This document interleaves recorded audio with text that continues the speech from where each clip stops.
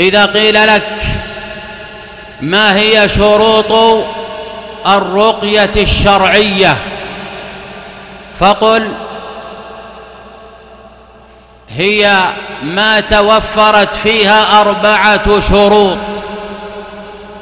أولا أن تكون باللغة العربية فلا تكون باللغة الإنجليزية أو نحوها.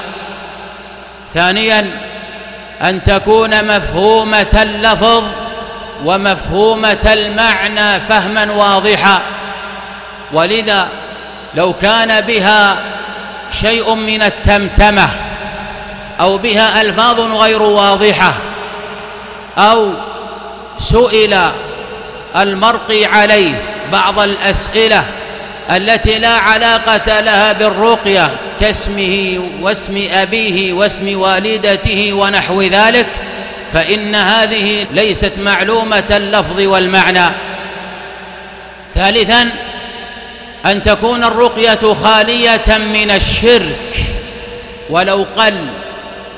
رابعا أن يعتقد بأنها هي سبب وأن المؤثر وأن الشافي هو الله عز وجل.